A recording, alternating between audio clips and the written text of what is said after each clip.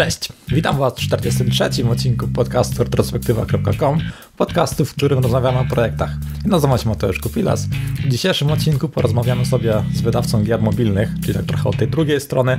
Zazwyczaj w przypadku gier rozmawiamy o tym, jak wydać samodzielnie grę, ale dla tych, którzy interesują się, jak to jest współpracować z wydawcą gier mobilnych, to jest to odcinek dla Was. Nawet jeżeli wydajecie gry samodzielnie, albo w ogóle nie tworzycie gier, tylko chcecie się dowiedzieć, jak to przykładowo wygląda, jak wyglądają przykładowe budżety, co jest ważne, zanim idziemy z grą do wydawcy i tak dalej.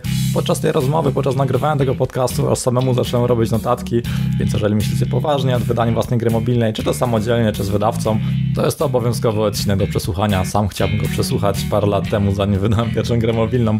Gościem odcinka jest Paweł Owczyński z filmu Bumbit. Podzielił się masą konkretów i wyszedł naprawdę świetny odcinek. Zapraszam. I heartily endorse this event or product. Jeżeli podcasty Wam się podobają i chcielibyście wesprzeć retrospektywę, to zapraszam na retrospektywa.com gościem wsparcie. Na przykład powstaje książka związana z retrospektywą, taka esencja wszystkich odcinków, plus dodatkowe informacje związane z tworzeniem autorskich projektów i jak je monetyzować, za co warto się zabrać i jakich błędów nie popełniać. Szczegóły odnośnie książki znajdziecie pod retrospektywa.com ukośnik książka. Cześć Paweł, witam Cię w retrospektywie. Cześć Mateusz. E, przedstaw się proszę słuchaczom, kim jesteś, czym się zajmujesz. No więc ja jestem Paweł, Paweł, Paweł Owczyński, e, głównie znany jako owca w, w branży. Pracuję jako biznes developer dla Boombit. E, to jest taki deweloper i wydawca gier mobilnych póki co. Tak w wielkim skrócie.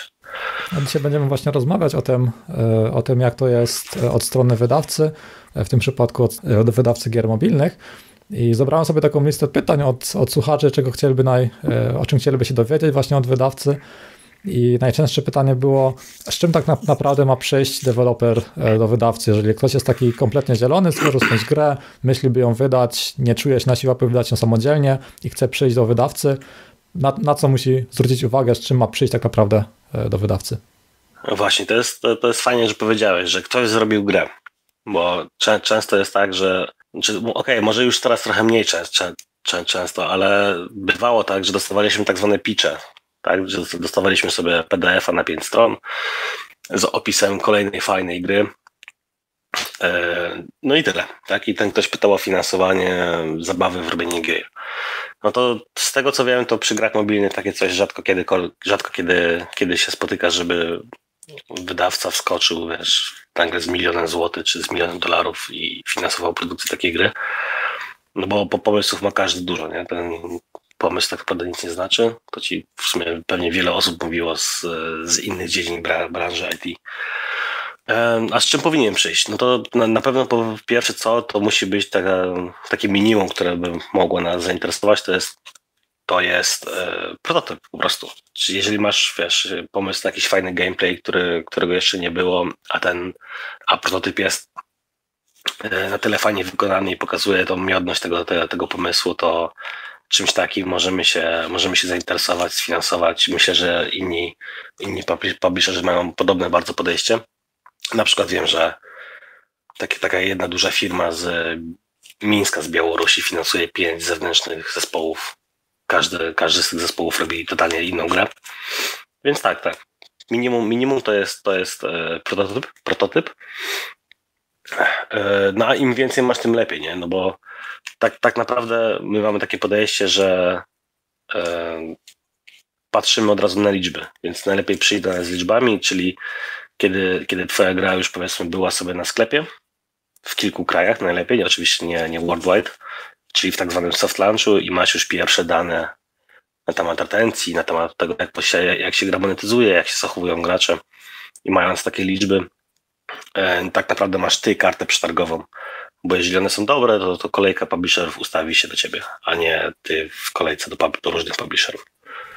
Okej, okay, czyli najlepiej mieć już coś właśnie w tym, e, właśnie w tym soft launch, żeby mieć konkretne dane związane z retencją i tak dalej, a tak, sam tak. prototyp, którego, którego tak naprawdę jeszcze nigdzie nie ma publicznie, to też ma jakieś szanse, czy zdecydowanie lepiej mieć właśnie ten soft launch za sobą? E, wiesz co, prototyp, prototyp ma, ma szansę, tylko to musi być naprawdę coś świetnego, tak? To, to, to nie musi być tak, że, że wiesz, czy prototyp albo vertical slice, tak? Czyli masz od, po, fajnie by było widzieć tak naprawdę, jaki jest twój pomysł na grafikę, no bo ona też ma duże znaczenie e, w grach mobilnych. Fajnie by było widzieć tak, że masz skończony ten gameplay loop, czyli to, co robisz w grze, plus to, co się dzieje w tak zwanej metagrze. E, no, żeby było widać całą, całą, całą taką grę, gdzie, dokąd ona zmierza, czym ona będzie, jak ona się będzie wiesz, zachowywać. to jest takie, wiesz, taki best case scenario, co musi mieć minimum, żeby, żeby zainteresować wydawcę. No bo jak masz taki, wiesz, prototyp na pudełkach, na, wiesz, na whiteboxach, no to, to musiało być coś naprawdę nie, nie, niezwykłego, nie? Żeby, żeby pokazać tą swoją miodność, a no nie oszukujmy się, to mało takich rzeczy powstaje. Chociaż w sumie w dzisiejszych czasach, jak masz te, te hyper casuale, to w sumie większość tych gier to są pudełka, trójkąty i kółka, tylko inaczej ubrane. No tutaj tak myślę właśnie pod kątem słuchacza, o co chciałby teraz zapytać, bo wspomniałeś właśnie o tym soft launchu i o dobrych liczbach, które mogą e, przedstawiać, przedstawić deweloperzy, to gdybyś tak teraz mógł w takim skrócie e, przedstawić właśnie słuchaczom, jakie to są liczby, właśnie na, jakie konkretne, e, jakimi konkretnymi terminami powinien się zainteresować, co, co te terminy znaczą i jakie tak naprawdę śrubować.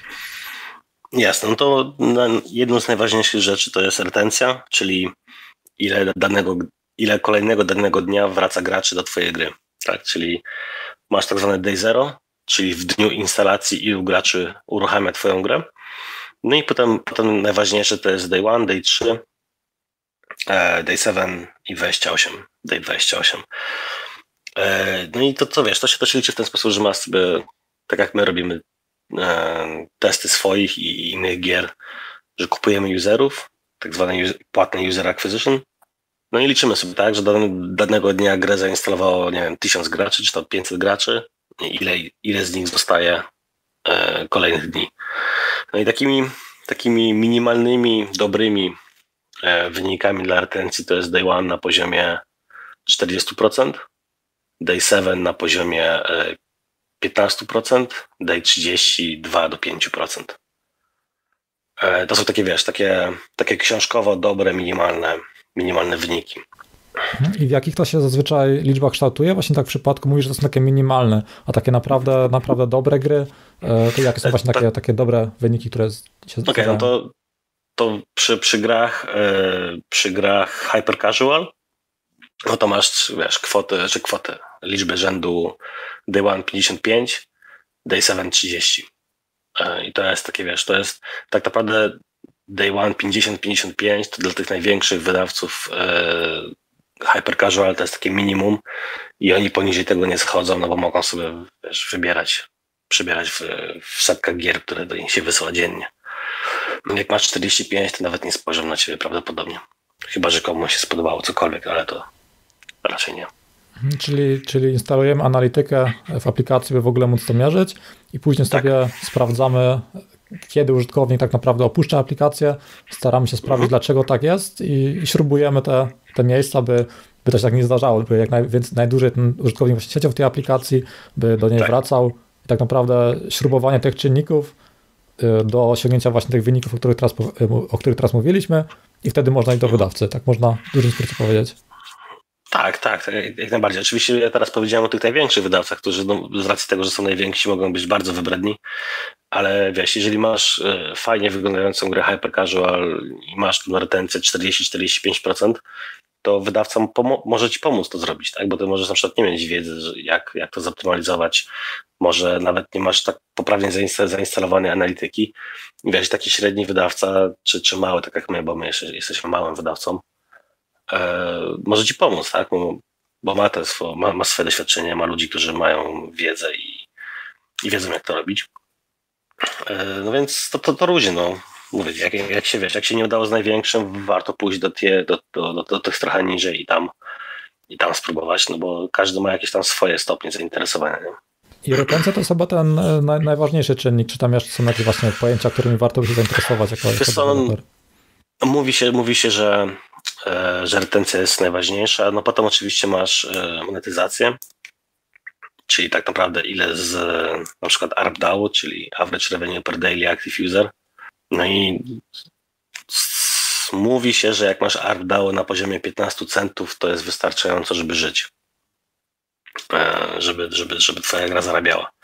No, czyli na jednym użytkowniku zarabiamy 15 centów średnio, to znaczy... Na, na, na, jed, na jednym dziennym aktywnym Na jednym dziennym, okay. Tak. E, no ale to też wiesz, to też jest wszystko powiązane, bo masz później na przykład CPI, czyli cost per install. E, no i jak, jak wiesz, jeżeli użytkownik w wyniku reklamy kosztuje ciebie jeden, jeden baron, to to to robi się trochę już skomplikowane, nie? bo to już później masz LTV, czyli lifetime value, czyli znowu ile, ile, e, ile zarobiłeś na każdym użytkowniku, średnio ile zarobiłeś na, na użytkowniku w, cał, w, całym, w całym okresie życia tego użytkownika w twojej grze. Także no to jest, wiesz, to jest, to jest takie dużo naczyń połączonych, jedno wynika z drugiego i wszystko się uzupełnia. No ale tak, naj, naj, najprostsze to jest retencja, a potem masz ARPDAU, a na samym końcu bym powiedział, że to jest CPI, czyli ile kosztuje reklama twojej gry i pozyskanie użytkownika. Okej, okay, czyli mamy tak parę takich najważniejszych pojęć. Myślę, jeżeli, jeżeli sam deweloper się zainteresuje tylko tym, czym jest retencja, jak ją poprawiać, to i tak już jest dużo, dużo bardziej z przodu niż ci wszyscy tam e, mali, którzy zaczynają, bo tak naprawdę ja, ja też na przykład wydając własną grę mobilną kompletnie nie wiedziałem w ogóle, czym jest retencja, jak w ogóle na to wpływać, że chciałbym sam takiego podcastu posłuchać, zanim właśnie bym wydał grę, czyli jak najbardziej fajna informacja. Teraz może przejdźmy do kolejnego pytania. Też może się trochę pokrywa. E, dużo osób właśnie pytało o najczęstsze błędy początkującego dewelopera e, przy współpracy z wydawcą. Co byś tutaj mógł doradzić? Oj. E, wiesz co, czasami jest tak, że deweloperzy bardzo dużo chcą pieniędzy z góry. Ja wiem, że wiesz, każdy musi jeść, każdy musi jakoś tam sobie żyć na poziomie, który sobie wybrał. Tylko w momencie, kiedy przychodzi do nas dwóch, dwóch gości i oni nie mają żadnego track record, nie? My to nazywamy, wiesz, proven teams, coś, coś, coś, coś w tym stylu. Czyli, że deweloper, który już wydał grę, która była jakkolwiek successful, czyli nie wiem, zarobiła może nie miliony miesięcznie, ale odpowiednio tyle, żeby utrzymać ten, ten, ten zespół, no to dla nas to już jest czerwona, wiesz, czerwona flaga, że cokolwiek po drodze może się wydarzyć źle. No i w momencie, kiedy wiesz, takie osoby od nas chcą dziesiątki tysięcy, nie wiem, czy nawet złotych, czy, czy już dolarów miesięcznie na utrzymanie kilku osób i fancy biura gdzieś tam w centrum jakiegoś miasta, nie, nie, niekoniecznie małego, no to to już jest dla nas, się komplikuje, nie? Te, te osoby, to jest jeden z tych błędów, nie? Że, że strasznie duże koszty na samym początku i i brak doświadczenia tych osób. Bo, bo nie raz się słyszy, nie? Że, że, że nie, wydawca zły, bo nie wypłacił transzy, na którą miałeś w umowie, nie? Tylko, że w umowie też jest napisane, że, że dany milestone ma być zaakceptowany. No i najczęściej ci młodzi deweloperzy bez doświadczenia nie dowożą tych milestone'ów, nie? Mhm, tutaj warto jeszcze chyba e, wspomnieć, bo właśnie część słuchaczy tych pojęć kompletnie nie, nie, nie słyszy za mhm. pierwszym razem, że na przykład milestone to jest część pracy, którą umówiliście się w umowie, że ok, tam do 4 tak. kwietnia ma działać sterowanie naszym ludzikiem w grze, że powiedzmy to jest jakiś tam milestone. Dokładnie tak. I że w umowie tak, są one zawarte, że do, do, do pewnego deadline'u musi być coś tam zrobione, inaczej ta współpraca nie ma sensu. Tak, to naj, najczęściej to są miesięczne milestony. Przy, przy konstruowaniu umowy określa się, co musi być zawarte. Oczywiście w porozumieniu z deweloperem to nie jest tak, że wydawca sobie mówi, masz pół gry zrobić w miesiąc, tylko to jest w miarę rozsądnie, wspólnie ustalane i później płatność za development tak naprawdę się rozliczy na podstawie milestone'ów. E, oczywiście wiesz, jak, jak nagle się jakiś fuck up zdarzy, to mam, mam wrażenie, że większość publisherów, przynajmniej tych, tych małych, średnich, no się nie obrazi, tak, że nie wiem, że nagle jak ci zachorowało dziecko na dwa tygodnie i miało gorączkę, no to to jest tak, to jest jakiś tam, jakaś tam wymówka, że nie mogłeś poświęcić się pracy w 100%, no ale z kolei nadużywanie czegoś takiego to też się zdarzało w mojej, w mojej karierze, nie? że nagle wiesz, wujek zmarł, potem musiałeś pojechać gdzieś, potem coś tam i kolejne takie wymówki, a praca się nie posuwa naprzód, a wiesz, a deweloper wymaga od ciebie wysłania pieniędzy. A naj, naj, najczęściej się to kończy tym, że taki publisher później słucha o, w internecie o sobie, jaki to nie jest zły, bo nie wysłał przelewu. No też mam takie to doświadczenia, jest... że się coś zleca gdzieś na zewnątrz, to, to pojawiają się wymówki za wymówkami.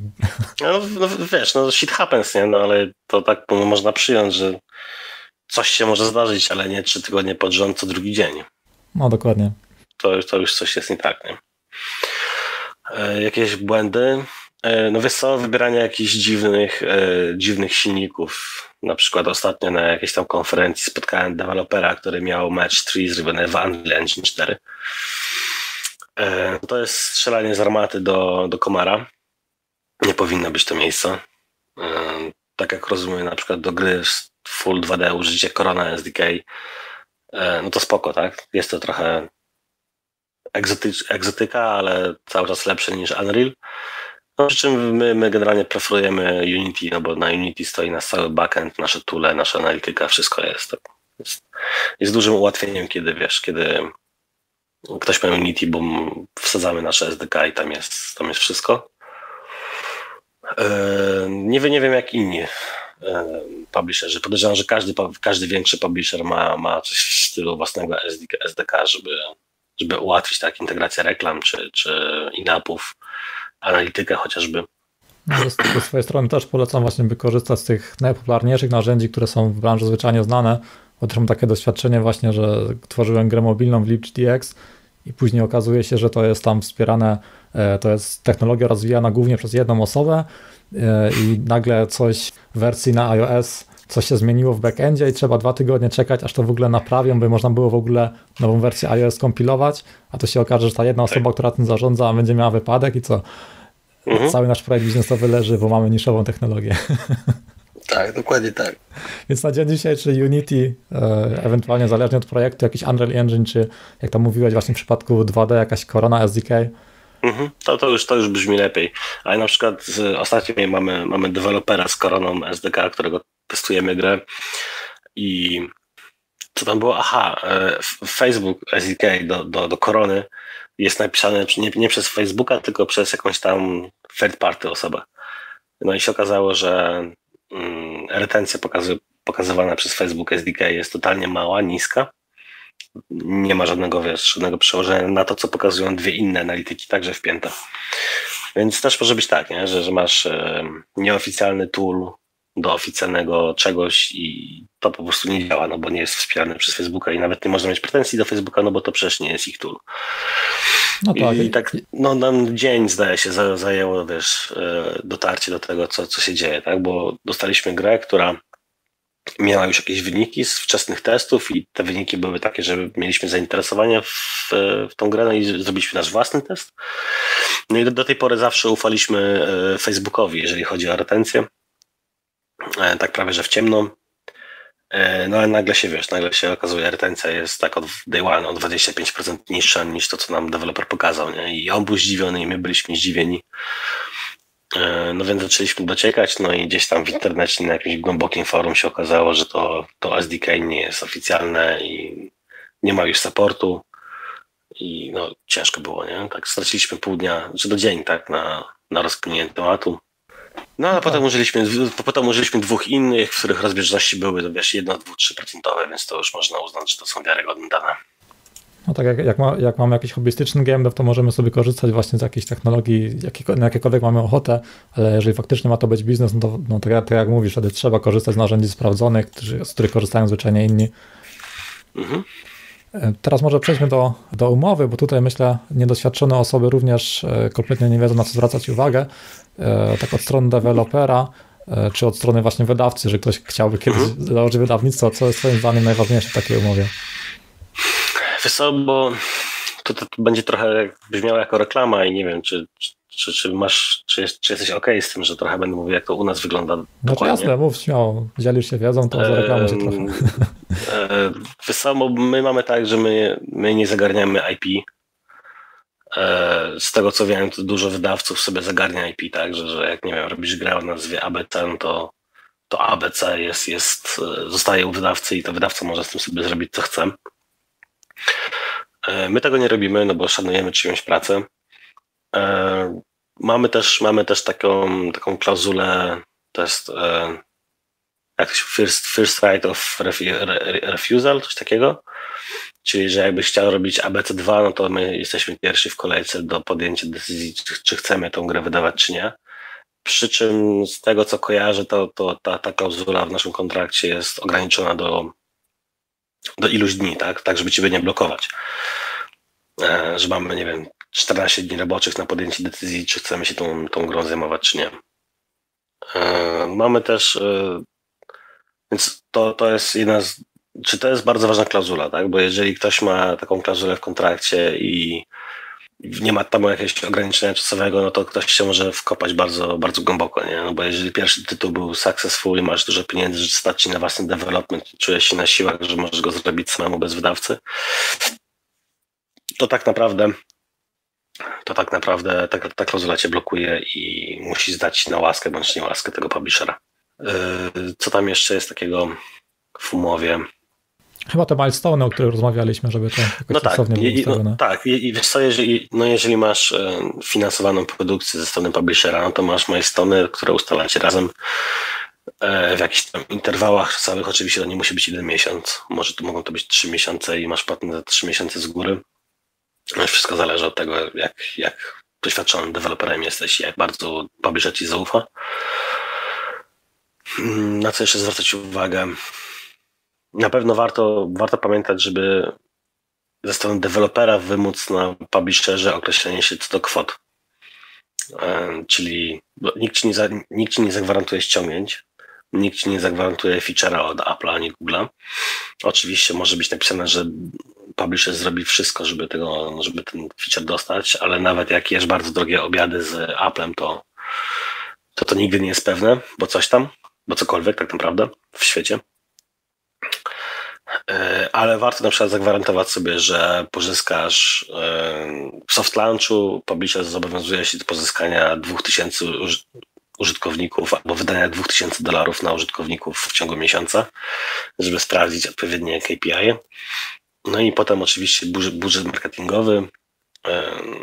Bardziej, no, na mobile bardziej to się tylko i wyłącznie dotyczy performance marketingu e, w jakichś konkretnych kwotach, tak, że jeżeli masz, startujecie z 50 tysięcy dolarów e, w okresie po featureze, jeżeli był, publisher kupuje użytkowników, jeżeli spełniacie odpowiednie wyniki finansowe, gra zarabia, to dokładacie kolejne, kolejne tysiące, że publisher dokłada kolejne, kolejne tysiące.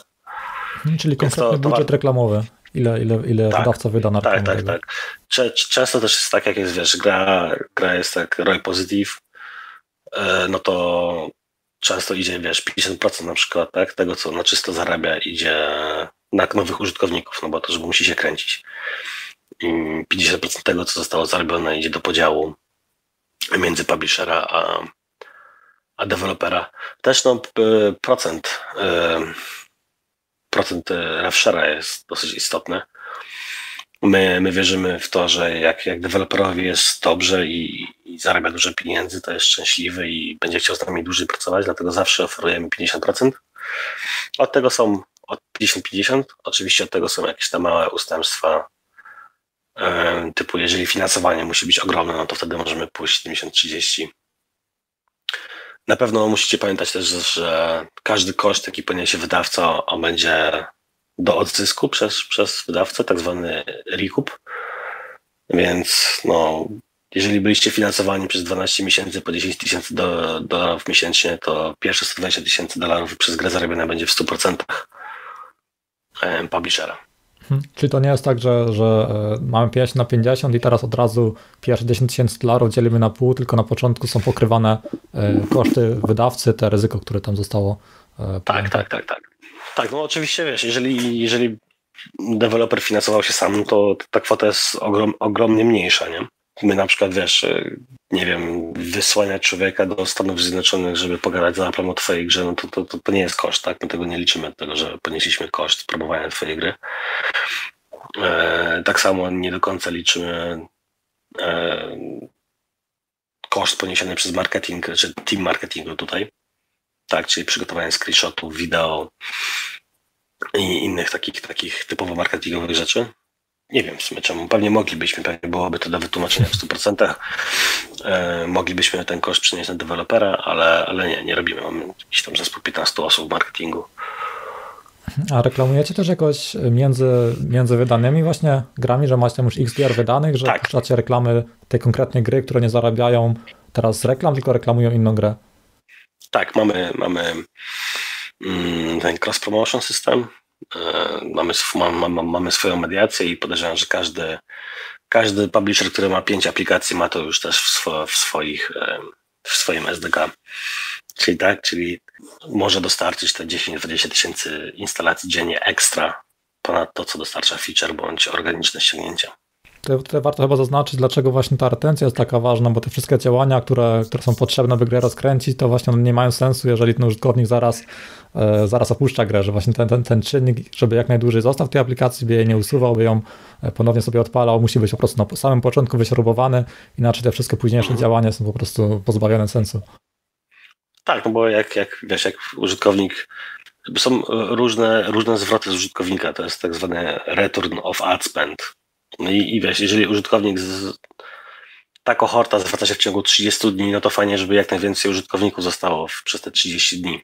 Tak, który wtedy oni mają 30 dni szans na to, że obejrzą ileś reklam albo wykupią ileś, ileś inapów. E, no a jeżeli masz, wiesz, daj, daj 30 na poziomie 0,5%, no to, no to jak wrzucisz 1000 użytkowników, no to wiesz, zostaje tam garstka tego, nie? Po tym, po, po 30 dniach. Mhm.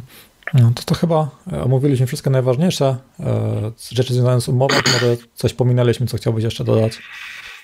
Co na tę chwilę chyba nic mi do głowy już nie przychodzi. To mam takie następne... Wiesz co, wiesz co no, takie małe podsumowanie. Czytajcie hmm. dokładnie umowy, bo nie wiem, niektórym się to może podobać, niektórym się to może nie podobać, ale na przykład są wydawcy, którzy mają klauzulę, że po, po osiągnięciu jakiegoś tam punktu sprzedaży, w sensie no, punktu sprzedaży, gry, to oni od ciebie wykupią tą grę za daną kwotę. Oczywiście te, te, te kwoty mogą, mogą oszołomić młodego dewelopera, bo jak nagle dostanie 2 miliony złotych, to się może, wiesz, zawrócić w głowie, ale tak naprawdę, jeżeli ktoś ci oferuje 2 miliony złotych za twoją grę, to ta gra ma potencjał na 20 milionów albo i więcej. No pytanie, co wolisz, nie? To już deweloper musi sam sobie powiedzieć, czy chce mieć kwotę w ręku, czy, czy czy bawić się dalej z tą grą. No tak, tak dokładnie. To, jakie plany mamy na przyszłość, jak to chcemy rozwijać. No tak. Tu mam tak, takie pytanie, to chyba sporo już z tego poruszyliśmy, między innymi właśnie te, e, te czynniki typu retencja i tak dalej, ale właśnie pytanie jest takie, jak odróżniacie, odróżniacie kiedy pomysł jest e, dobry, kiedy jest zły, jakie macie procesy, które o tym decydują i czy, czy koniec końców charyzma dewelopera e, też tu ma jakieś duże znaczenie? Wiesz co, no, ja jestem tą osobą, która przyprowadza gry z zewnątrz do, do firmy, e, czy to na targach, czy to udzielając się na, na Slacku game devowym, czy, czy na jakichś tam innych grupach, stronach, nieważne. E, no i z racji mojego tam backgroundu, no bo to już 10 czy 11 rok w branży mi leci, wcześniej byłem grafikiem 3D. E, jakieś te pojęcie o grach mam, ileś ich tam wydałem, przy, przy wielu pracowałem.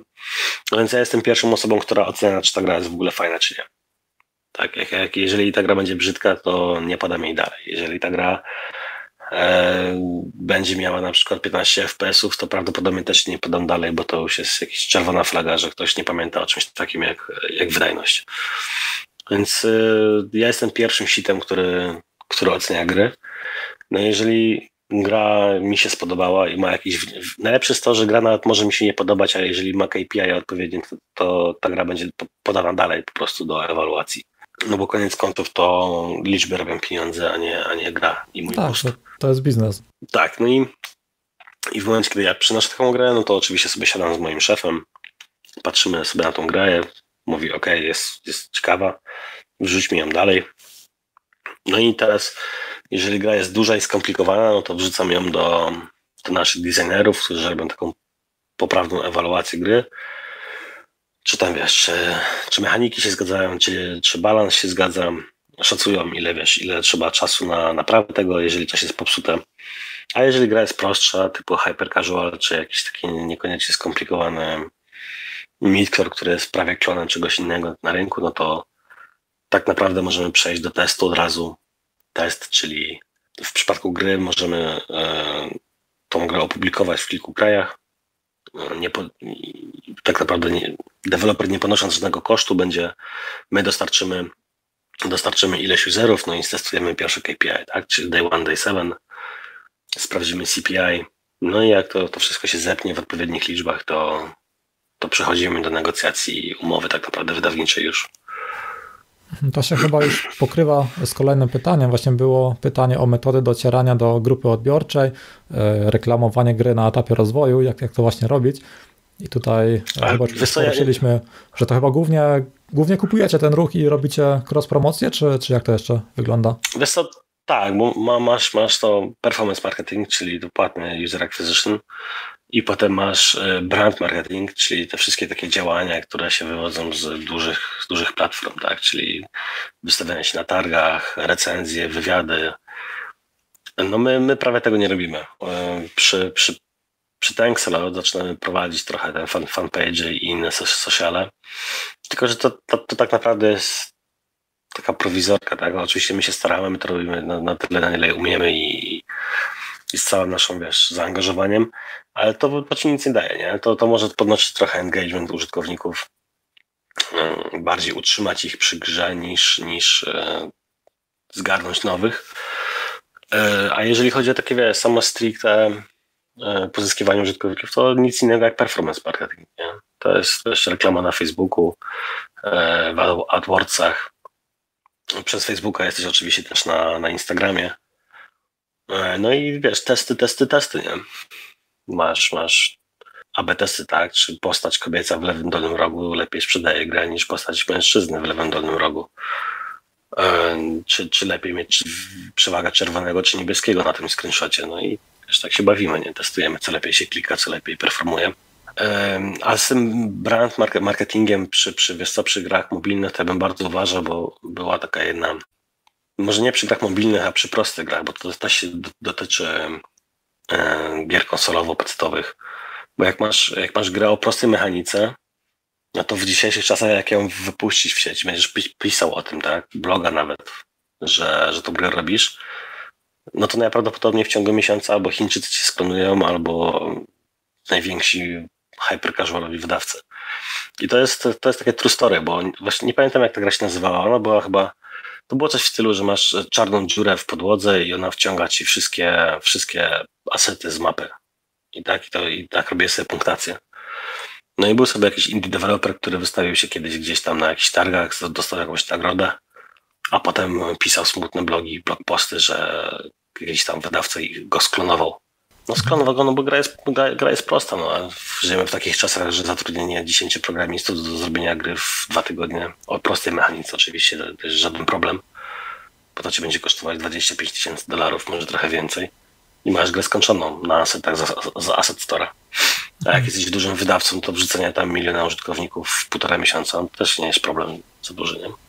Czyli w przypadku takich prostych, casualowych pomysłów należy jednak uważać z tym, z tym pokazywaniem tego publicznie. Tak, ja, ja, ja, ja bym uważał, wiesz, jak, jakbyś był Adrianem Chmielarza, fajny przykład właśnie z Adriana Chmielarza i Astronauts, bo oni przed, przed etatem Carterem, czy nawet teraz przed Witchfire, no, piszą bardzo dużo, nie? pokazują od drugiej strony, jak ta gra powstaje, jakie są procesy, jak, jak, wiesz, jak konceptowali kusze, czy jakiegoś tam przeciwnika. I to spoko, nie? To hardkorowych graczy nakręca, no bo ci hardkorowi gracze też mogą się odrobinę interesować tym, jak ten proces powstawania gier wygląda. I to jest spoko, no bo wiesz, no jakbyś chciał sklonować grę Astronauts, no to musiałbyś wydać, wiesz, 2 miliony dolarów albo trochę więcej. Więc mało kto będzie ryzykował prawie nikt nie będzie ryzykował. No a jak masz zrobić grę o, o tym, że domki wpadają ci do czarnej dziury na mapie, no to to jest, wiesz, no dużo prostsze, nie? Więc ja, ja, ja bym uważał, że gry o prostej mechanice tak trzymać w miarę, w miarę po cichu. Gry skomplikowane, głębokie, śmiało reklamować od samego początku. Bo później, wiesz, bo wiele się słyszało tych historii, nie? że ci indie, indie deweloperzy wydają grę po dwóch latach produkcji i się sprzedaje w ilości 500 kopii na miesiąc w pierwszym miesiącu. No to jest przez to, że oczywiście tam no, nikt o tym nie wie. No. A jakbyś, jakby się pisało, to jest szansa, że będzie trochę lepiej.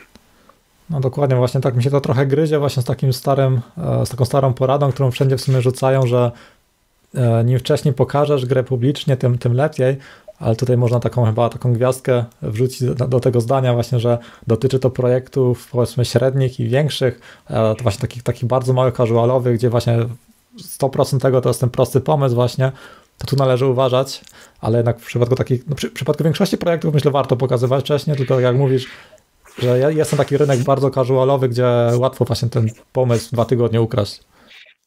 Tak, no, ja cały czas będę pokazywał, no, fakt, że to trochę inny czas jest, ale cały czas będę pokazywał przykład gry o nazwie um, Banished, e, wydany w 2014 roku, w lutym zdaje się. No to, to człowiek, autor chyba się nazywał Łukasz, ktoś tam, Łukasz Chodorowski, jakoś tak. To jest chyba Kanadyjczyk z, polski, z polskimi korzeniami i on przez dwa lata pisał bloga o tym, wiesz, jak programował jakieś nawet hardkorowe rzeczy typu wyszukiwanie ścieżek, nie? I zrobił dwa blog posty o tym, jak optymalizował wyszukiwanie ścieżek, mając 50 aktorów na scenie. E, no i wiesz, i tam jak przejrzysz sobie tego bloga, on chyba jeszcze wisi, jest nieaktualizowany od dawna, to tam pod, pod, pod wieloma postami są, wiesz, po, po kilka, kilkanaście komentarzy, że ja chcę tę grę kupić. Czy ja mogę już teraz zapłacić dwa razy więcej, by grać w alfę na przykład, nie? E, no bo no i to jest, to jest jedna ze ścieżek, ścieżek którą się powinno podążać i na, nawet jeżeli my jako Bumble się zdecydujemy na wejście na, na duże konsole, to to będzie jedną z aktywności w sieci, promując nasze gry tak właściwie robię z moją karcianką, że odkąd miałem pomysł na pierwsze nowe karty, udostępniłem jakąś betę do samodzielnego druku, od razu mi to jakoś tam listę mailingową buduje ludzi, którzy do, otrzymają właśnie update'y tej takiej wersji i już tak. właśnie nie, nie męczą od dwóch, trzech miesięcy, kiedy można w końcu kupić. Dokładnie. Dokładnie. No i jeszcze, jeszcze powiem, że gościu właśnie, o gościu jest, e, Łukasz od Banist, e, sprzedał 20 tysięcy kopii, czy przy, jego pik aktywnych użytkowników w dniu premiery to było 20 tysięcy graczy. I to jest mm, dla tych, którzy nie wiedzą, to jest bardzo, bardzo, bardzo dużo. Tak, tak dla solo dewelopera tysiąc użytkowników tak. Y, pierwszego dnia to jest już naprawdę spoko wynik, że może z tego, że jest to uznawane dla indyka za dobry wynik, a 20 tysięcy tak. to jest w ogóle przebicie wszelkich oczekiwań. No ja, ja wiesz, ja sam miałem, dziecko mi się urodziło, miało nie trzy tygodnie jakoś. Na, na laptopie wiesz, leżałem przy dziecku, żeby spało i napierniczałem w to, nie? Tak, jak, jak słyszę muzykę z Banisz teraz, jak sobie odpalę, to mi się przypomina wiesz, wiesz, pierwsze, pierwsze dni z dzieckiem w domu. No, tak mi się wryło. No tak jest właśnie, muzyka się często właśnie kojarzy z jakimś tam okresem z naszego życia, no. że to się wpaja w głowę. M muzyka to była, to była jedyna rzecz, którą nie zrobił, której nie zrobił Łukasz do, do tej gry. Komuś tam zlecił napisanie muzyki. A reszta, grafika, to 3D, bardzo proste, ja bym nawet powiedział, że gra jest brzydka. Ona się nawet okej, okay, może przez to, że była brzydka w 14, to dalej jest brzydka teraz i się nie zestarzała, tak? Ale zaczął robić nową grę, już oczywiście pokazuje blogposty, także polecam sobie Shining, Shining Rock Software chyba się nazywa. Bardzo, bardzo fajny człowiek, fajnie, fajnie podchodzi do developmentu powoli, ale no robi skomplikowane rzeczy, bo on to nawet na własnym silniku pisał. No, no, no ale jak sprzedajesz, jak, jak sprzedajesz 2 miliony kopii e, gry w 2 lata chyba, no mhm. to można sobie pozwolić się bawić. Ale trzeba wspomnieć właśnie, że to jest mega właśnie tak, tak to jest jednak e, nie należy liczyć, że będziemy właśnie tym deweloperem, który będzie miał teraz 2 miliony i będzie własny silnik rozwijał, że to jest tak bardzo taki przypadek raz na ileś tam setek tysięcy, że No tak, znaczy, no, to też, też trzeba wziąć pod uwagę to, że ten człowiek nie był wiesz, z pierwszej łapanki, nie? to był doświadczony deweloper, który tak naprawdę wiedział co robi, no i też trafił fajnie z niszą, bo to było chyba, to było nawet jeszcze, jak było posłucha na rynku strategii ekonomicznych, wiesz, to było, zdaje się, nawet jeszcze przed tym, jak City Skylines miało wyjść. Także tam, wiesz, tam ma, rynek był super głodny na to, nie? Że, że ej, ja chcę budować miasto, ja chcę być takim teraz to się mówi chyba survival, tak, że musisz przetrwać, ale to, to, to tak naprawdę, wiesz, city builder jest, jest e, strategia ekonomiczna, tak, balansowanie mocą przerobową i produkcją. To jest fajne. Teraz jest dużo tych gier. Ja po, po tym, jak się zachłysnąłem Baniszt, yy, też szukałem jakiegoś tam sponsora, żeby zrobić taką grę. Nikt nie wierzył, no a teraz mamy 20 premier w ciągu roku. A w 16 było 5, więc jeszcze było lepiej. Tak, jak, jak już jest właśnie trend na rynku, jak tego masa wychodzi, to już za późno jest, żeby z tym wejść, więc to, że trzeba wcześniej no. trochę wyczuć trend. Tak. Teraz mam takie pytanie, bo już omówiliśmy właśnie o tym, z czym, z czym przyjść do, do dewelopera, jak, jak tą umowę skonstruować, jak, na co zwracać uwagę przy reklamowaniu, jak to tam się tym zajmujecie i tak dalej. E, a teraz, e, jak już jest gra u Was, już podpisaliście umowę, to jaki macie mniej więcej stosunek klub do sukcesu? Czy tutaj większość wychodzi, czy jak to mniej więcej jest? Czy zdarza się tak, że macie początkowo dobre wyniki, a jednak jakaś gra nie wyszła i jeszcze na koniec tego pytania właśnie, jak przy okazji tego, jakie były właśnie wasze największe sukcesy i powiedzmy jakaś taka największa porażka?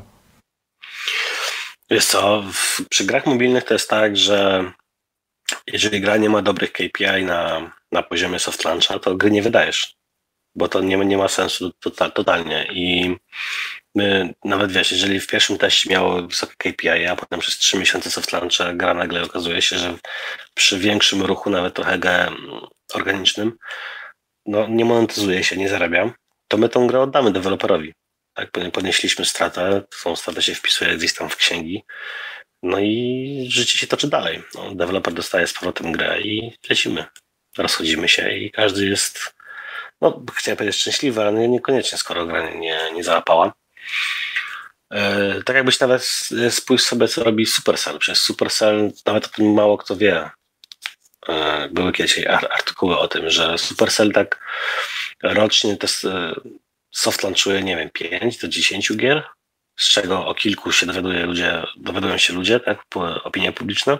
No i nawet ostatnia ich gra, jak ona się nazywa? Jezu, jest Clash Royale i Brawl Stars. No to Brawl Stars był dwa lata w soft launchu bo, bo KPI nie były dobre. Na początku była, gra była w portrecie, tak? I po, po roku w soft stwierdzili, że to jednak nie działa i zrobili horyzontalne. E, no i bardzo często, no, teraz już się tego nie powtarza, bo to już się wryło od dużych deweloperów, że nie, nie bój się zabić swojej gry. To nie, w większości przypadków wiadomo, że mali deweloperzy, deweloperzy mają tą sytuację, że być albo nie być i jak gra nie wypali, to zwijamy się i wracamy do mamy na, na garnuszek. E, dlatego fajnie też robić szyb, szybko soft launche, żeby, żeby jak najszybciej zobaczyć, czy ta gra ma w ogóle jakikolwiek potencjał. Nie?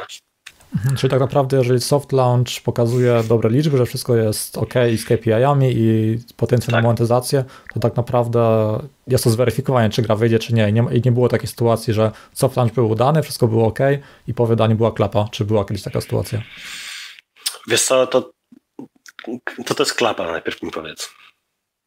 No, nie wiem, jeżeli jest dużo, dużo poniżej oczekiwań, że wydaliście więcej nagrań niż zarobiliście, powiedzmy, tak bym to zdefiniował. E, to nie, to czyli o, inaczej, bo Bumbit jest trochę duży i znaczy duży w sensie takim, że mamy dużo odnóg produkcyjno-wydawniczych. Mamy na przykład taką, taką firmę, która się nazywa Play with Games i ona zajmuje się tylko i wyłącznie grami parkingowymi. E, w skrócie masz samochód i musisz zaparkować w odpowiednie miejsce. No, czasami to są proste gry, gdzie masz jeden parking i sobie jeździsz, a czasami to są dosyć większe gry z jakąś taką namiastką historii, gdzie na przykład jesteś, wiesz, udajesz sobie ratownika na plaży i masz tam, wiesz, najpierw jedziesz sobie jeepem na plażę, potem motorówką po tonącego człowieka, wracasz do szpitala i tak dalej.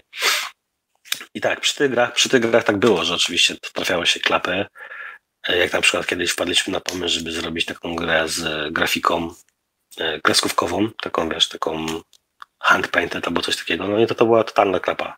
Całe szczęście, że te gry nie, nie kosztują dużo, nie, nie kosztują dużo, e, no ale tak, to, to był jeden z takich przykładów. E, jeżeli chodzi o, o to, co niedawno wydaliśmy, to też trzeba pamiętać tak, że jak nie, nie dostarczysz masy userów, to ciężko powiedzieć, czy ta gra już jest klapą, czy jeszcze nie jest klapą. E, na przykład mamy, wiesz, mamy Darts Club, miał jakichś nie wiadomo jakich ściągnięć e, i przez to nie zarobił nie zarobił jeszcze nie wiadomo jak dużych pieniędzy, ale jeżeli popatrzysz sobie na wskaźniki, tak, czyli RPU, czyli Average Revenue Per User, czy ARPDAU, to to jest gra gotowa do tego, żeby ją skalować. Tak, my sobie czekamy na odpowiedni moment, przygotowujemy sobie kampanię i w momencie, jak już wszystko będzie gotowe, wrzucimy, wiesz, jakieś tam dużo większe budżety na, na marketing, to ta gra, ta gra zacznie zarabiać, wiesz, duże i potężne pieniądze, no bo pokazuje nam to aktualne wyniki, nie? Więc y, jak mamy, wiesz, te, te inne wskaźniki na odpowiednim poziomie, to potem jest tylko kwestia skali, tak? Jak bardzo uda nam się to zaskalować.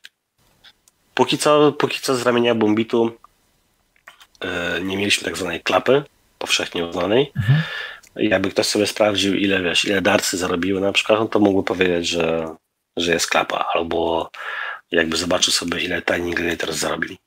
No ale znowu, jakby, jakby dostał dostęp do analityki i zobaczył, jakie tam głębiej liczby siedzą, no to, to wtedy by zmienił zdanie. Okay. Także to na wszystko przyjdzie jeszcze pora, nie? W tym, w tym jeżeli, jeżeli o to chodzi. Mhm. Tutaj właśnie się powtarza, to jest myślę coś, co, co jest bardzo ważne dla, dla słuchaczy, którzy robią właśnie jakoś tam grę sobie na boku, że właśnie powtarza się to, że robić soft launch, śrubować jakieś tam czynniki typu, typu retencja i później właśnie mhm. kupować użytkowników, czy w jakiś tam inny sposób ich pompować. E, czyli jak, jak to wygląda Twoim zdaniem, jeżeli taka osoba hobbystyczna robi jakąś grę i wrzuca ją sobie teraz na Google Play'a czy App Store'a bez właśnie takiej płatnej promocji, czy jest tu współcześnie w ogóle jakakolwiek szansa, czy jak właśnie, co byś doradził osobie, która pokłada właśnie nadzieję w czymś takim, że jak, jakimś tam sposobem bez, bez płatnej promocji e, się wybije w sklepie? E, wiesz co, no to jest możliwe, no bo masz na przykład, ostatnio rozmawiałeś, nie, z... Adrianem Zarzyckim?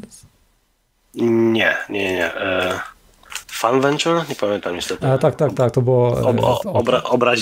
Taki God Game był jakiś, to było coś. Tak, Almighty God Almighty. Idol, Idol. Tak, i się obrazi na mnie, jak, jak usłyszę, że zapomniałem jego imienia. E, Darek? Nie, nie pamiętam. Ale on też, z tego co, co on mówił, on też sporo wydawał e, na, na, tak, na, tak, na reklamę później. E, tak, tak, tak, ale zwróć uwagę, że wiesz, że on to sobie robi powoli, nie? Wiesz, wydał, gra miała takie dobre, średnie wyniki, no i tak sobie z, z miesiąca na miesiąc optymalizował, dodawał kontentu, patrzył na liczby, uczył się z nich i wiesz, i wyprowadził grę, która ma no, no świetne wyniki, tak? No tak. E, I przy okazji sprawdziłem, w sensie, wiesz, Darek się nazywa. Jednak no. Tak, tak, tak, no, też, też, też się dokopałem. Tak.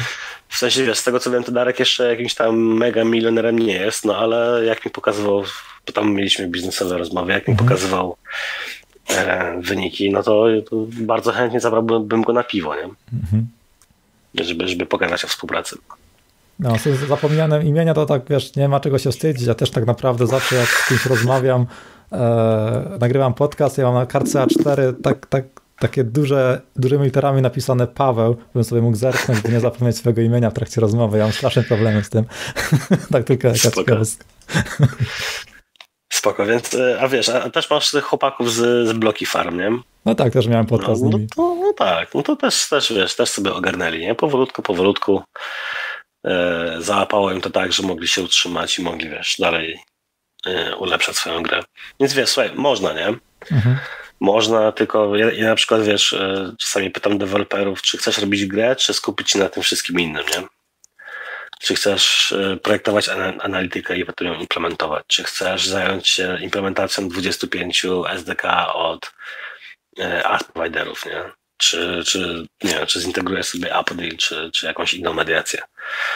No bo to jest dużo tego, nie? Masz, masz stare analizę, tak? Przygotowanie raportów miesięcznych z tym, jak KPI się zmieniają i dlaczego się zmieniają, jakie eventy w świecie się wydarzyły no to, to, to, my, to my to wszystko robimy, nie? Deweloper dostaje tak naprawdę wiedzę na, na tacy i od nas sugestie, co trzeba zmienić, żeby, żeby ulepszyć albo utrzymać aktualne wyniki. No tak, wy macie, dostarczacie jakby taki, taki blueprint e, takiego modelu biznesowego, który, który może tam strzyknąć to, mhm. by, by, nie był to tylko złoty strzał, tylko faktycznie jakiś powtarzalny proces biznesowy. No tak, no wiesz, na przykład jak Tanksalot co wiesz, wyszło w sierpniu i w grudniu był taki pierwszy potężny update, no to patrząc, wiesz, po, po dwóch, trzech miesiącach na, na rynku już widzieliśmy, co się dzieje, gdzie są jakieś tam czerny i wypalanie się użytkowników, e, no to zoptymalizowaliśmy to i tak z tygodnia na, na tydzień 30% więcej revenue nam to wygenerowało, więc to też jest może nie jest jakiś mega sukces, nie jest to 300%, a 30% więcej dziennie pieniędzy, no to jest już spora kwota, nie? No, myślę, że każdy chciałby 30% podwyżki dostać. Że... No, dokładnie. tak. Tutaj mam takie, takie ciekawe pytanie, właśnie nie wiem, czy będziesz mi coś e, na ten temat powiedzieć. Ktoś pyta właśnie, czy są jakieś przepisy konkretne, które utrudniają e, pracę wydawcy, albo może jakieś nieuczciwe praktyki konkurencji, z którymi walczycie? Co, mówi się, że mówi się, że czasami są takie kampanie nie, konkurencyjnych wydawców, że kupują ci chińskie jedynki na, na App Store, czy tam z Indii. Mm, my się z tym nie spotkaliśmy. Nie mieliśmy czegoś takiego, że jednego dnia dostaliśmy 10 tysięcy jedynek na przykład. Nie? E, po, po współpracy z chińskim wydawcą Cheetah Mobile nauczyliśmy się tego, że wiesz, że na, prawie najważniejszą, znaczy jedną z najważniejszych rzeczy, jaką musisz zrobić, to dbać o, o stabilność swojej aplikacji i, i, i co? I performance taki, jako taki, tak? No i dzięki temu na przykład wiesz, ze średniej ocen 3.9, 4.0 nasze gry skoczyły na 4.1, 4.5, Mówię tutaj o grach parkingowych, nie? że kiedy, kiedy stwierdziliśmy, ok, słuchajcie, grafika 3D na tych urządzeniach nie jest w ogóle ważna, ci ludzie chcą jeździć autem po mapie, która wygląda jak wygląda, najważniejsze jest dla nich to, żeby działała 30-60 fps i się w ogóle nie wykrzyczała w życiu. Nie? No jak się przestawiliśmy na to, to te gry ok, na tych gorszych urządzeniach wyglądają drastycznie gorzej, ale to nie sprawiło, że zaczęliśmy dostawać jedynki, nie? To sprawiło, że zamiast czwórki, trójki dostawaliśmy piątki, bo, bo gra działa. E, jeżeli chodzi o takie dziwne praktyki, to pewnie każdy z nas, kto, kto gra w gry free to play i ogląda reklamy, widział, że często niektóre gry są reklamowane. Najczęściej te gry z, z Top Grossing są reklamowane, na przykład Kozak 3 albo z jakimiś filmikami, które w ogóle nie mają nic wspólnego z tym, jak wygląda gameplay. Ja generalnie przyznam że nie mam pojęcia o co chodzi. To oczywiście to jest jawne naruszenie jakichkolwiek e, IP, no bo nie wiem, reklamujesz swoją strategię klikacza e, grafiką z Age of e, Empires albo cokolwiek innego. Jak to działa, nie wiem. Na pewno to, to coś, coś tutaj śmierdzi, ale co, nie, nie, nie mam pojęcia. No to jest jedna z takich trików, które przychodzą mi do głowy. Wiesz co, bo to, to trwa. To, to, to nie jest tak, że ja to zauważyłem tydzień temu, to trwa już od kilku miesięcy. Co najgorsze, te, to musi dawać wyniki, no bo nie, nie robiliby tego, to... nie, nie wyrzucali. Dokładnie. Tak, dokładnie tak. A te, te, te największe gry, one no wiesz, wydają miliony miesięcznie na, na akwizycję użytkowników.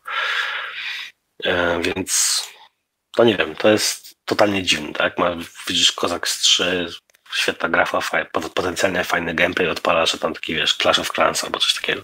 No cóż, no, to, jest takie jedno, coś co nie pachnie fajnie.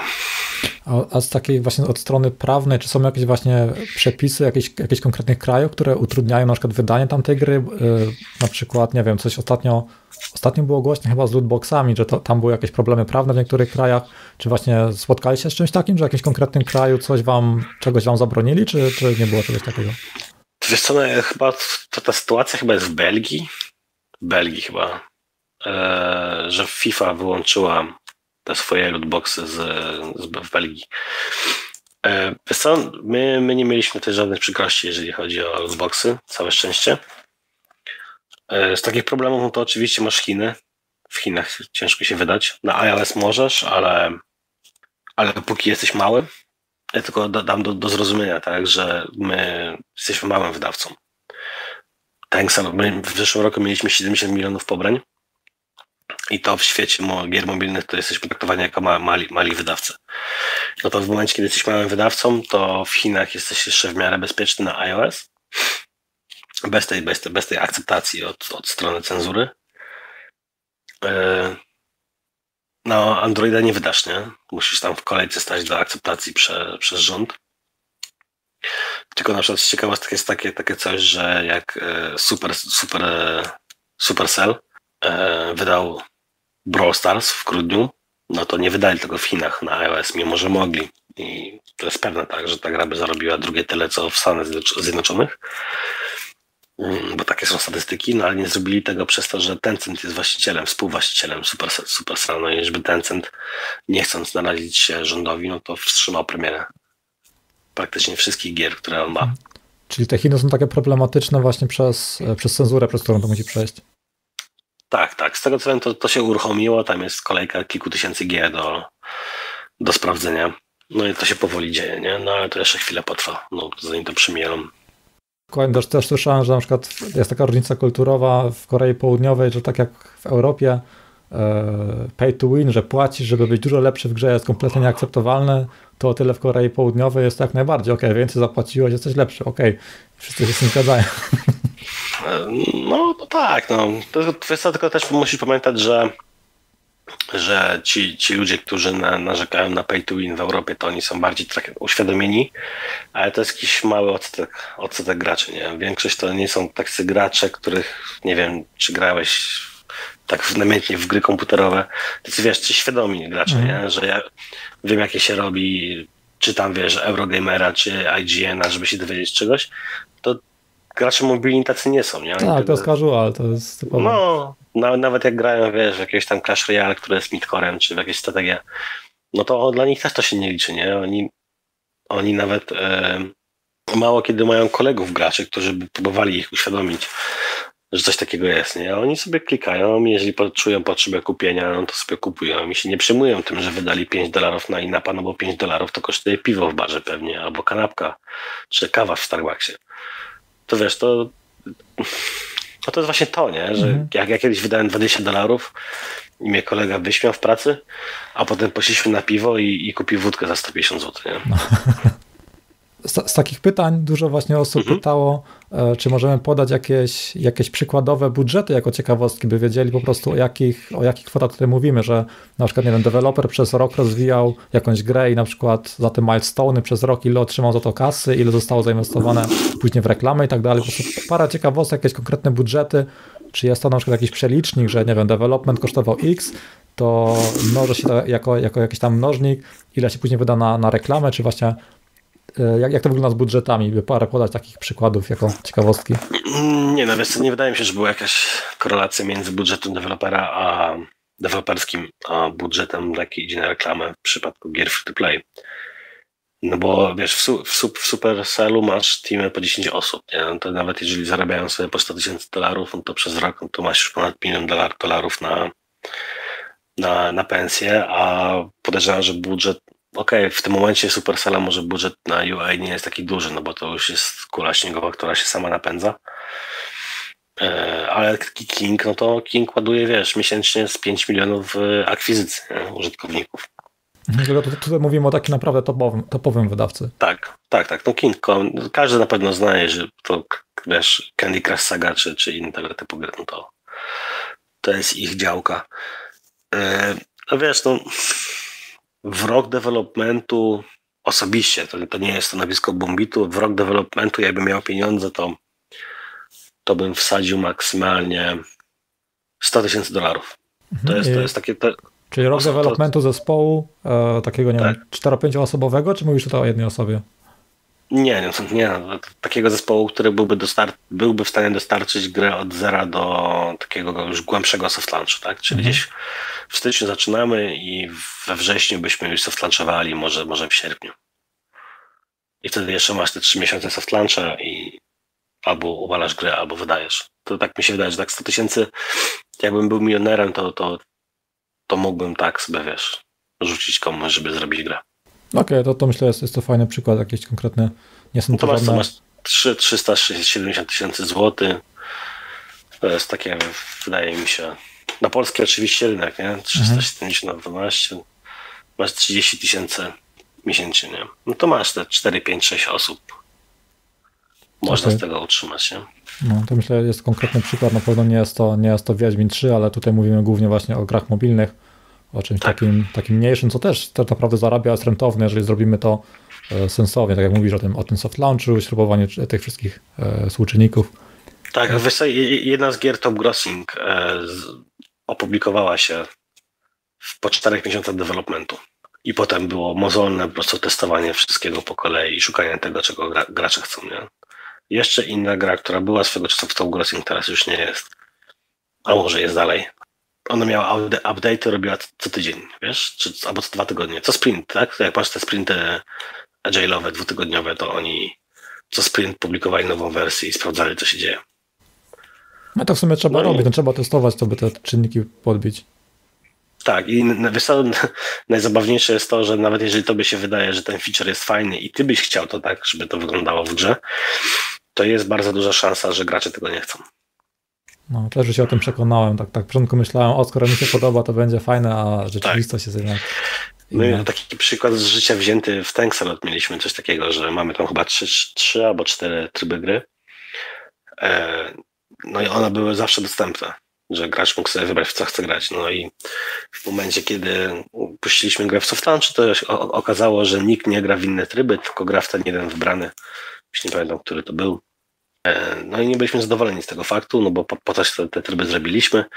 No to wpadliśmy na pomysł, że będziemy rotować tryby gry. Więc masz dostępne dwa tryby gry. E, kolejne dwa się, co tam chyba to trzy godziny uruchamiają. Tam są jakieś zasady, czy to jest losowo, czy nie losowo, to już jest mniej ważne. No i w momencie, kiedy zrobiliśmy ten update, który mi się nie podobał, no bo kiedy, kiedy zawsze chcę pograć w Tanksalot, to nigdy nie jest dostępny deathmatch, a ja bym chciał tylko wydać pięć gracz, bo nic innego mnie nie interesuje. Natomiast dla graczy to było, wiesz, wybawienie, w sensie dla nas bardziej niż, niż dla, dla graczy, bo ze wszystkich danych, jakie mieliśmy, jakie, jakie zbieraliśmy, wszystko rosło. Nie? Rosła, rosła retencja krótko, krótkoterminowa, rosła e, długość sesji, ilość sesji dziennych, e, ile pieniędzy zarabiamy, no wszystko rosło. Tak. No tutaj, tutaj Także... warto zwrócić chyba taką uwagę, że właśnie na te, na te dane, które faktycznie wynikają z, z aktywności graczy, trzeba patrzeć, a nie na komentarze krzykaczy internetowych, bo tak często mamy właśnie, tak. że mamy paru takich ludzi, którzy głośno sobie krzyczą, coś tam, jakąś aferę kręcą, a tak naprawdę z danych wynika, że to, co zrobiliśmy, ma praktycznie same, same pozytywne efekty dla naszej gry. No, tak, tak będzie z Diablo Immortal, nie? No też tak, też tak właśnie myślę, że dużo, dużo, dużo krzyku, a wyjdą na tym dobrze, że może warto tak. zainwestować w akcje Blizzarda, jak teraz spadły trochę. tak, to może być dobry pomysł. No? Na koniec jeszcze chciałbym zadać pytanie, bo tak właśnie często jest medialnie, że o tutaj krzyczy ktoś, o, że zły wydawca go wykiwał, jest dużo takich medialnych sytuacji, a czy zdarzyły się właśnie takie sytuacje odwrotne, że znasz jakieś praktyki, może niekoniecznie u was, ale słyszałeś, jak, jak czasami na przykład deweloper, e, że on chciał wykiwać e, wydawcy? Słyszałeś takie odwrócone sytuacji? Nie, nie, wiesz co, bo to, to wykiwanie dewelopera przez publishera, no to to jest, to, omówiliśmy to już, to, to było przy tym jak mhm. jak wiesz, jak, jak e, też podaję swój przykład, jak coś zleciłeś, nie? że zaczyna się okay. kręcenie i kombinowanie. Więc tak naprawdę jeżeli twój kontrahent zrobił to tobie, to już się wykiwał, nie? Już się wykiwał na czas i być może na pieniądze. E, nam się to mm, kiedyś też tam zdarzyło. E, tylko, że no to wiesz, to, to tak naprawdę deweloper kiwa samego siebie, no bo on nie dostanie pieniędzy, nie? Tak, tak, czyli tak naprawdę no, nie dostarcza milestone'ów, to, to, to masz tak. teraz na myśli. My, tak, tak, tak. No my, my oczywiście też tracimy, tak? Czas projekt menadżera, pieniądze z budżetu i tak dalej. No ale tak w skali takiej, wiesz, w skali takiej światowej, czyli takiej globalnej firmy, no to, to, to nie, to raczej nic takiego się nie wydarzyło. I jakoś nie widzę opcji, jak deweloper mógłby zaszkodzić, wykiwać publishera no też tak, to tak właśnie myślałem, że jednak... Czar, czar, czar, czarnym PR-em chyba, wiesz, no widzenie, mhm. że, że ktoś zacznie się robić koło, koło tyłka. Tak, to chyba wszystko się rozbija o dobrze skonstruowaną umowę, że po prostu trzeba mhm. w pewnym momencie powiedzieć, no okej, okay, stop, e, ograniczamy straty i życie toczy się dalej. Tak, no właśnie, do, dokładnie tak i też, wiesz, też, też jest takie, taka mała rada, żeby deweloperzy czytali umowy, które podpisują i naprawdę stosowali się do, do tego, co w tych umowach podpisali i negocjowali te umowy e, tak, żeby były też dla nich dobre, no bo później wychodzą takie kwiatki. Nie? Ostatnio tam w sieci było jakieś tam duże zamieszanie z polskim publisherem. Jakaś tam drama się wydarzyła na Facebooku. E, no, no była sobie. No. No, myślę, nie ma, nie ma Wiesz, co tego teraz podsycać. Nie, nie. Wiesz co, to nawet nie ma o czym rozmawiać, bo żeby wydać jakąkolwiek opinię o tym, to musielibyśmy przeczytać umowę, zobaczyć faktury, wtedy byśmy mogli wydać opinię, a tak to możemy sobie gadać, wiesz, w kółko tym samym. No dokładnie, nie, nie ma co oceniać, nie znając tak naprawdę e, obu stron. To może na, na koniec jeszcze byś tak e, powiedział właśnie, jakie są wasze e, plany na przyszłość jako wydawnictwo, czy, czy macie na przykład zamiar rozszerzyć działalność na, na, również na gry PC, na konsole, czy jak generalnie wyglądają wasze plany na przyszłość jako Boombit Games? Jako Boombit, tak swoją drogą. Boombit Games to było kiedyś. Jako Boombit, tak, okej, okay. Tak. Już poczyniliśmy takie kroki. W, styczniu wydaliśmy Build a Bridge na, na Switcha. Aczkolwiek było to też trochę chaotycznie zrobione. No ale jest, sprzedaliśmy szlaki. Współpraca z Nintendo wiele nas nauczyła. Na przykład japońskiego trochę. Więc to, to można powiedzieć, że to jest taka oznaka, oznaka że, że będziemy się otwierać na nowe platformy. Także na tym, na te mniej trochę znane, bo na przykład zajmiemy się też podbiciem takich rynków offline w krajach trzeciego świata. E, zajmiemy się też podbiciem WebGL-a, w sensie podbiciem, no po prostu wydaniem gier tam naszych, nie żeby podbijać od razu. E, to są, to są, to jest to, to co teraz się dzieje, no i ten to właśnie zwiastun switchowy, że, że Build Bridge tam poszło, to to może powiedzieć coś na temat tego, że że może powiedzieć coś na temat tego, co będziemy robić w tym roku. No to super. To... No i, no i z, tak, z, tak, oczywiście z, z tych największych newsów, jakie możemy, możemy powiedzieć, to jest ten proces, proces IPO, który się teraz powoli dzieje. jest niedługo, niedługo giełda dla nas. Okej, okay, czyli, czyli sporo planów, sporo, sporo przed wami. Tak.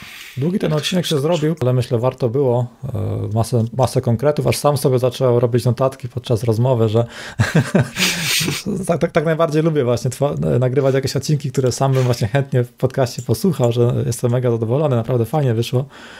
Życzę Wam powodzenia i bardzo Ci dziękuję Paweł za, e, za rozmowę. Wyszło grubo ponad godzinę podcastu, a naprawdę masę mięsa i myślę masę osób skorzysta.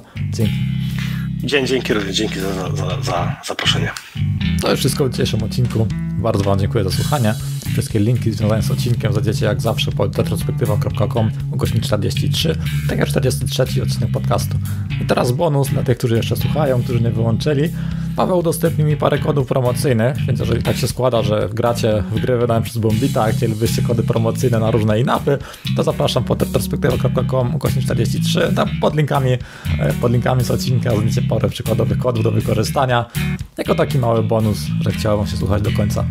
Przypominam również, że powstaje książka związana z podcastem, taka esencja wszystkich odcinków, najważniejsze wnioski, najważniejsze błędy, których nie popełniać, e, case study różnych projektów i różne moje doświadczenia związane z autorskimi projektami. Coś, co chciałbym samemu sobie sprzed 5-10 lat wręczyć, albo nawet sprzed parunastu lat, zanim zacząłem jakąkolwiek pracę zawodową. Książkę mam zamiar wydać w kwietniu 2020, e, czyli jeszcze ponad rok czasu. Dlaczego właśnie wtedy? Akurat wtedy staję się starym dziadem i stuknie mi 30 lat i jako takie małe pocieszenie mam zamiar wtedy wydać moją drugą książkę. Jeżeli interesuje Was książka i chcielibyście otrzymywać informacje mailowe na temat update'ów książki, to zapraszam pod retrospektywa.com, ukośnik książka, tam możecie się zapisać. Dziękuję za słuchanie. W kolejnym odcinku słyszymy się za dwa tygodnie. Cześć!